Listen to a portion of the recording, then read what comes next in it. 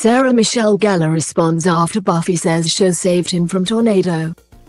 Sarah Michelle Gellar amused her Instagram followers by sharing a video of a fan claiming that Buffy saved his family. The man said in a TikTok that his love of the show meant he survived a tornado and was able to rescue his family too. In the clip, a younger man is seen asking his dad to remind him of how Buffy the Vampire Slayer saved all of our lives. The father then explained, well the series finale was coming on and I wasn't going to miss it. Sirens going off, F tornado, blah blah blah. But your mama was so scared, she got all you kids and all the neighbors and went down in the storm cellar. So I sat there and I said, F it I'm watching Buffy. Double quote.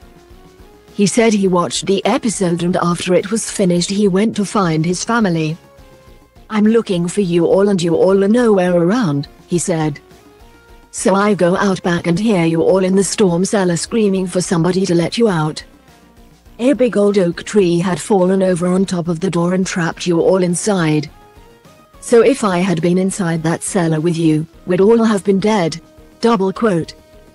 His son then chimed in, so literally we all owe our lives to Sarah Michelle Gellar. Double quote. He then thanked the actor for everything she did, but she shared the clip and wrote, You don't owe me anything. Double quote. Fans loved the story, posting messages on social media about how many times Buffy did save the world in the program. F it I'm watching Buffy is my life motto, said one fan.